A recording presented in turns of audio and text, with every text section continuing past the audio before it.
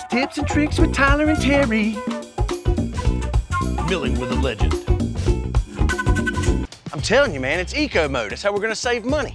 Man, I really think we need to do pattern mode. We want a really nice finish coming out the back of the mill. I'm telling you, man, you're messing up. You know what? Let's get the man himself, Jeff Wiley, out here. Come on, Jeff. Oh, damn. Woo! Don't mind me, I'm over here just making coal into diamonds. What's up, Donnie? Hey guys, how's it going? Well, Donnie, I'm glad you chose the 210Fi. 210Fi is the most popular and highest selling milling machine in the world. And there's a reason why it's the most highest selling machine in the world. It has level proactive.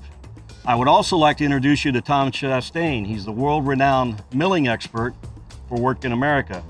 Today, I'm officially passing the torch into retirement to Tom Chastain, and he will take over from here. So let's take a look at this machine. Looks like it's almost ready to go. There's a couple things to point out. We need to make an adjustment on the boot. I told, I told you, Tyler.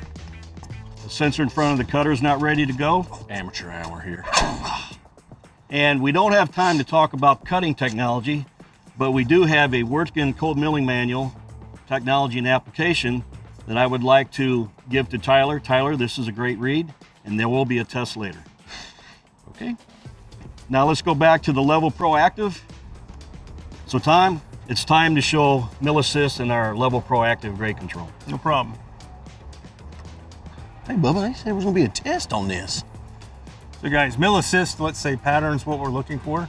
I can go into mill assist, which is our operating system. I can tell the machine what teeth we're running, what line spacing drum we have, and what pattern quality we want to maintain. Mm-hmm. From that point on, the operator just needs to watch the gauge.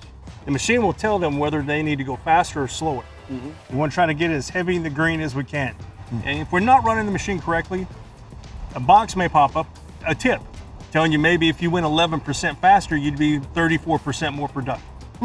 That's It- nice. Is that information in here? That is. Oh, is there anywhere else I can see that?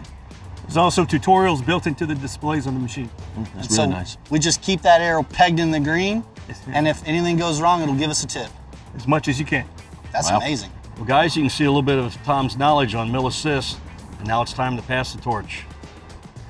I'm out of here. It's time for me to go. I'm riding out.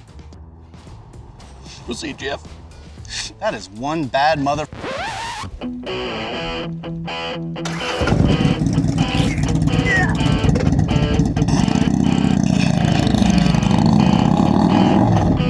More years till I can do that.